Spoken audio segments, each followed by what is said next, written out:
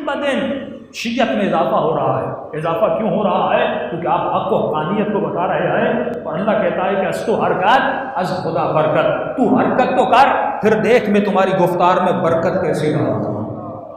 तो हुसैन का जुलूस तो निकाल, फिर देख इस जुलूस में बरकत कितनी अदा करता हूँ। तो हमारा फ़र्ज़ है सिर्फ़ लोगों तक हमारे को पहुंचाना। एक ये सिंपल सी, मैंने एक अहले सुन्नत के दोस्त थे, मैंने उससे बात की। मैंने कहा, हमारी नमाज़ या हमारा रोज़ा, या हमारी नमाज़ों के अवकात टीवी पर साफ़ लिखा होता है, जब रमज़ान का महीना आता है, भाई ये छः बज के पाँच मिनट पे फ़िक है, जाफरिया का वक्त है। हाँ? और छः बज के मसलन पंद्रह मिनट पर फ़िक है अनफिया का वक्त है। मैंने कहा, ये जो वक्त के सामने जाफरी क्यों लगाते हैं? क्योंकि वो फ़िक जाफरी है। मैंने कहा, क्या मतलब जाफरी? का हज़रत जाफ़र सादिक की फ़िका मैंने कहा, कौन?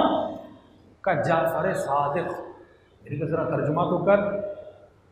नाम मैं अदा नहीं कर रहा। ना तू नाम है जाफ़र। लकब है सादिक।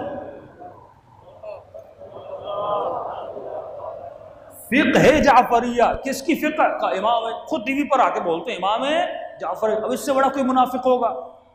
जो टीवी पर ये कहे कि ये टाइम किसका है? जाफ़र सादिक का। तर्जुमा क्या हुआ? उस जाफ़र का, जो सादिक है। जो सच्चा है, यानी तू खुद कह रहा है, ये टाइम सच्चे का है। अब मुझे नहीं पता दूसरा कौन है। अब हकीकत में दो ही हो सकते हैं ना। एक बात में कहूँ तो मैंने चाँद देखा है, दूसरा कहेगा, नहीं देखा। अब दोनों में से एक सच्चा हो सकता है ना। दूरबीन वाला चक्कर और है। लेकिन आग की बात कर रहा हूँ। एक आदमी का मैंने चाँद देखा, एक का मैंने चाँद नज़र नहीं आया तो दो ही बातें हो सकती हैं यहाँ दिखा है या नहीं दिखा। भाई, दो लोग दो टाइम बता रहे हैं। हम नहीं कह रहे, तुम खुद कह रहे हो कि ये वो जाफ़र है जो सादिक है। हमारे इमाम वो है जिनको लकब हमने नहीं दिया, लोगों ने दिया।